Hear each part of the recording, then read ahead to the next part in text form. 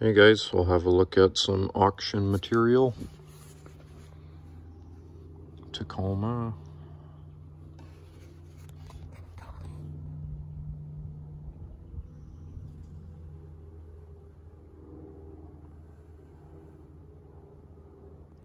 This 1980 sure represented a good style for the Caterpillar loaders, as I have mentioned before. Excavators in the early 1980s were still trying to find themselves. I don't think it was till about 85, 86 they really started to become a superpower, a force to be reckoned with, and more competitive with each other, new brands showing up. Those are big. They did the 990 as well, just monsters. I guess we should turn a page here.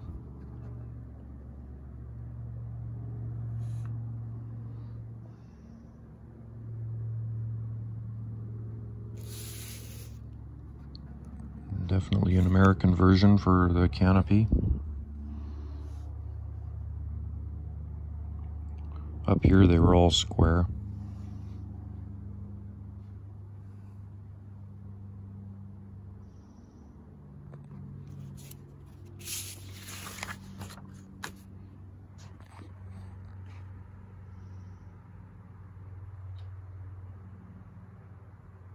That'd be the granddaddy of the Terex loaders biggest one they made. And that was Case's biggest loader too. They did a W36, W26, I think a W18 it was called, a little one.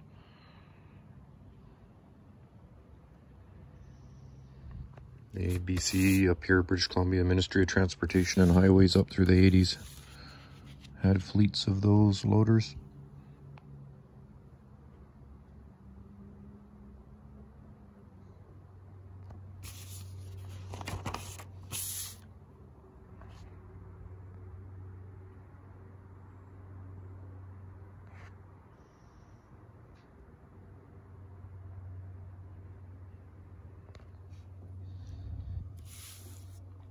1987 in Washington, only one logging truck.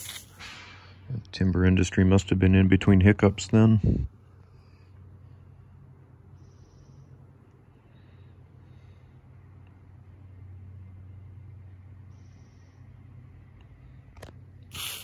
And the Drott 50.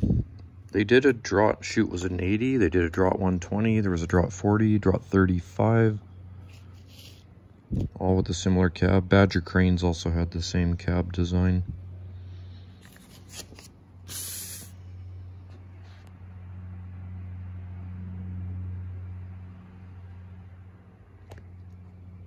That is a big ditch witch. Looks like Shelby Stanga's swamp logging vehicle he had. Just for tire scale.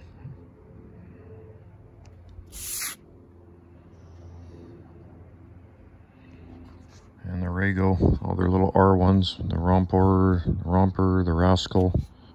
I guess they didn't call one a reject or any other foul term, but they stopped making models when they ran out of R words.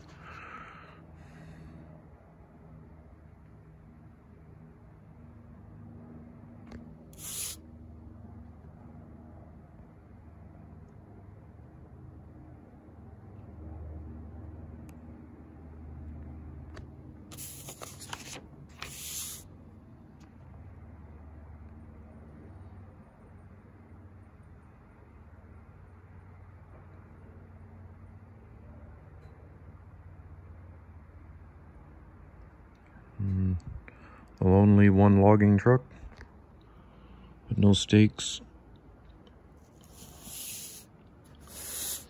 In Surrey. Missed more than a few days of school back in this era to go to the these sales.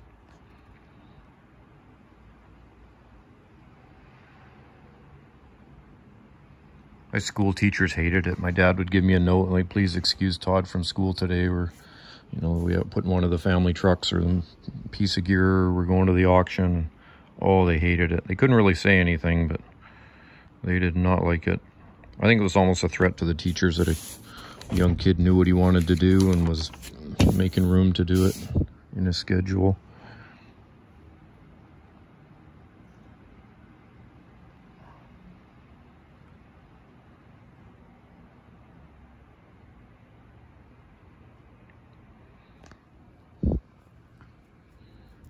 Everybody knew the railway tracks were right past here. You had to walk, walk across them.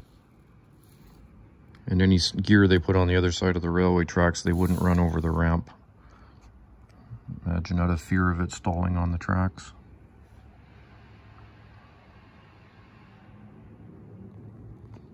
Sparmac. Don't know anything about that company other than having seen it in the Ritchie flyer here. Cool name. Good looking cat. It's an oldie.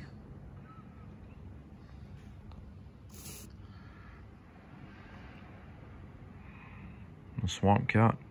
36 inch tracks. Pads. Those things had extensions on the idlers, a little stubby shaft that came out. I built a few of them up.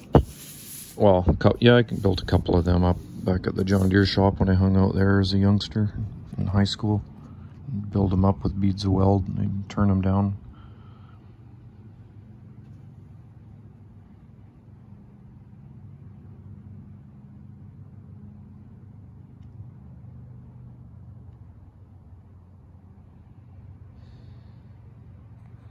I don't know where all these went. You'd never even see one today. Of course, that's what I grew up on. Exact, a B model, exact same setup. Everybody had one.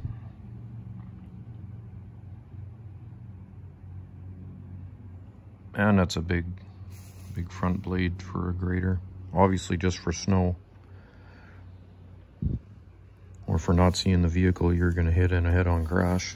So block screen. Our tank drills, bush gear, and a Chapman in the wrong color. They're a big machine, the Chapman. 1800. Usually they were blue, blue and white.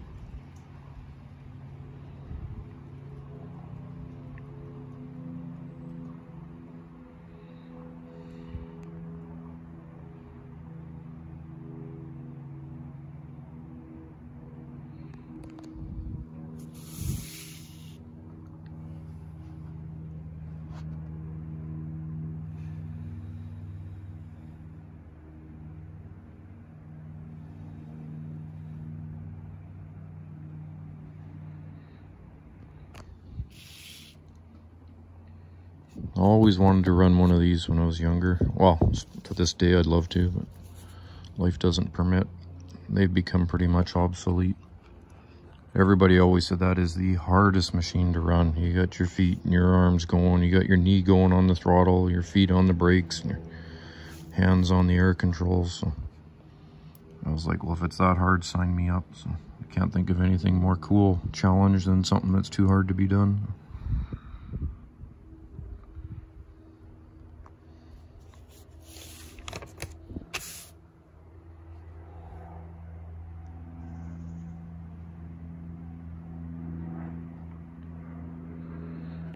the articulated trucks, the Volvos pretty much sent these things a packing. Used to be lots of those around. But the Volvo will turn around on a roadway, whereas that those things won't. They need 40 acres to turn around on.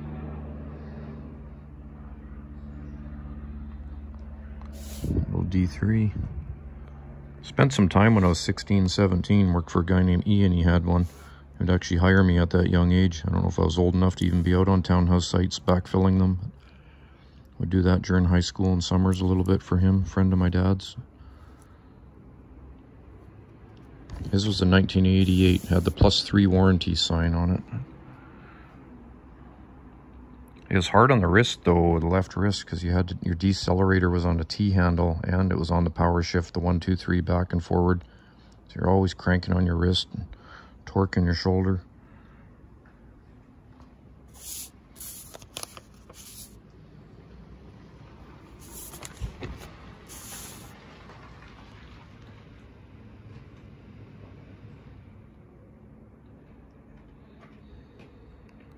All right, I'll hold it there.